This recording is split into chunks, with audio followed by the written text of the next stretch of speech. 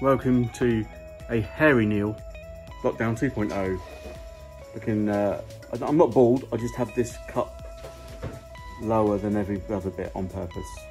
For that monk look. Hey guys sorry to interrupt this video just a quick one. Please hit the like button on this video. It has an enormous effect with all the YouTube algorithms to promote my videos to a larger audience. So one quick click from you. Just on the like the thumbs up can go an awful long way to getting my videos out to a larger population and get them watching my content. Thank you. Over to the video. Um, yes, yeah, so you join me and Ben just there in between TikToks, no doubt.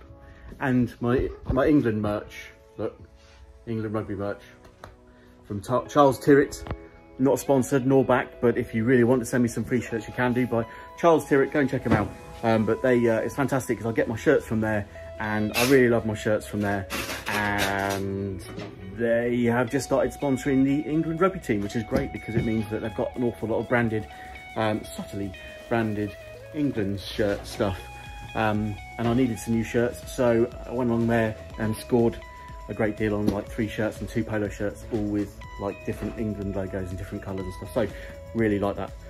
Uh, well, so I, a really grumpy person put a message on last night saying, why don't you just make an interesting video that shows us all of the items instead of just whatever. Um, so I said I'll do that, but not today. Just so you join us. I'm busy, and so Ben. Ben's doing the grunt work here today. Look, you can see all this. Uh, he's been processing all of this top merch um, from pallet batch three and is just starting to pack up people's orders here. Now, the good thing about this is uh, that this stuff um, actually, in, instead of you know everything being large, large like coffee machines and things like that, and robot vacuums, these stuff slide straight in a DPD bag, which is really quite good.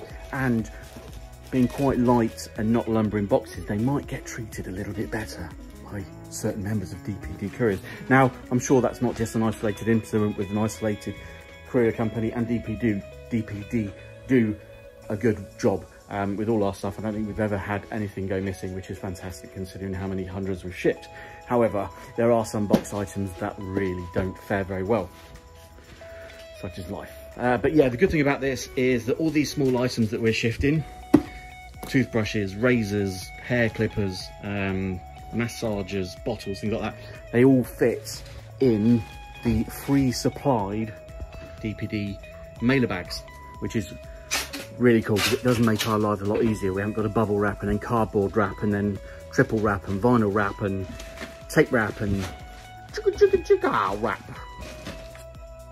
And that's what happens when you set an alarm to go off during the day and you're recording, it stops you recording. Hold up. Inflator bag. So I really need to pull my finger out and get some DPD labels sorted out. But this stuff is starting to sell really well. And that's what happens when your thumb presses the volume button while you're recording. It also stops your recording. Really not good at this. I use this because it means the footage is on my phone already to edit instead of my GoPro because it's a ball ache getting footage off the GoPro. Um, so while Ben is still continuing to hug that parcel, um, where was I? Oh, get my iPhone 12 mini on Friday, I believe. Uh, yes, so I'm quite looking forward to that. My phones don't fare well, I do break them a lot, and it's a good job that I have got a tech repair business because they end up repairing my device a lot, but I don't take very good care of it, and I really should. Quite a few orders to pack today, I think 11 items. There is some stuff, we're still selling stuff on the uh, from the large pallet, the, uh, the lorry load. So there is a faulty um, kind of stand-up vacuum cleaner a fully working iron station that went for about, this went for a hundred pounds, which I'm really pleased with. Um, retail value, I think circa 200, I believe, or 150, no, yeah, I think it's about 200. So I'm quite pleased with that. Um, the finally shipped the robot window vacuum cleaner, which Ben, Ben's gutted about, um, because, well, I don't really know. Oh, he lives in a high rise, like, now Ben, Ben, Ben's now got his penthouse in the Shard. I guess he was looking forward to, now he's a TikTok legend, he was looking forward to using the, uh, the Ecovacs um, robot thing that suckers to your window and, and, cleans your glass windows. But I think, to be honest, if you put that on my window at home, it'd go, and then you'd have to take it off and do the next one. So kind of defeats the object. Yeah, so that, that's going to a new home. And I think that sold for a hundred and, how much that sell for? I want to say 140-ish. It was up for about 195.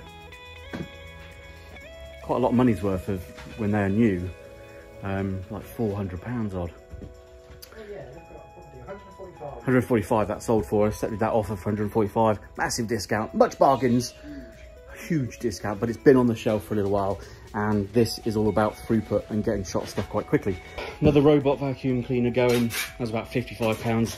Again, I think we probably saturated the UK with robot vacuum cleaners because when I started buying and selling these at the beginning of the year to what I am selling them for now is greatly reduced. I don't know if that's just because I'm accepting lower level, lower offers just to get stock shifted or whether I've just supplied everybody who wants one with one. Um, but there was a lady, uh, this not this particular item isn't going to there, but there's a lady called Mary in Ireland who has bought with her and her family and friends. Uh, in fact, she's outsold Ben because Ben was selling to, to members of his family and, well, which is my family, because he's my brother-in-law, um, but, uh, and friends, uh, which I don't have actually. So he was basically shifting quite a few, but this Mary in Ireland, she's shifted, she shifted about nine. So she's outsold you. Yeah, it's impressive, impressive. Um, so yeah, as I was saying, got a big, a bit of an issue. I don't know if you've been following my Facebook post. Check out facebook.com forward slash Neil Barker official. Um, yeah, ran into a bit of an issue with buying. Now I use a website called A to ZB Stock for all this stuff, and I logged in about 10 days ago to start looking for the next pallet load and up flagged a Brexit alert saying that as of the 2nd of November, which is about four days after, before, uh, four days after I saw it, they will not allow UK customers to buy any UK, uh, European pallets and vice versa, which kind of killed me dead in the water really because all of our stuff was from mainland Europe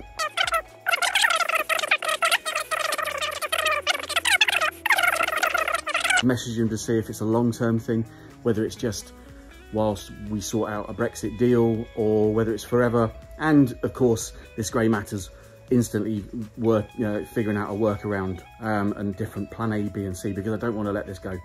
So there are options on the table, but I need to, um, I've got to make a few phone calls, speak to a few guys that I know as far as couriers and transit and freight across Europe and and this and the other. Where there's a will, there's a way. So we've got that bit of a hiccup going on at the moment, which means I'm struggling to buy the next lot. And uh, we're probably on our last pallet then, are we? Yeah. We're on our last pallet. Now that's not, uh, it's not fantastic, but. Five boxes to go. Five, what, five of these boxes? Yeah. Yeah, so five, we've got five of these, um, which is essentially a pallet. What the? Um, yeah, five of these to go. And, and, as you can see, there's a lot of products per box, but it's not going to last forever. Sod's law is that when things are going well and, and working out all right, there's, you know, something's going to happen to try and throw you off. So I've got that to try and work out. We're still shifting. We've still got a reasonable amount of stock from the, the lorry load. My man is listing all the eBay stuff. Hassan, he is absolutely ticking along. Ben's doing loads of the processing stuff. It's not all over yet, but I do need to get some more merch. Now looking at this beard trimmer, I am half thinking about cracking open a box and actually trimming my hair and beard in the office, which is not going to be the ideal solution. I'd say I'd like a mohawk, but I don't think that's going to happen. I'll have like... Sh a what? Oh, um,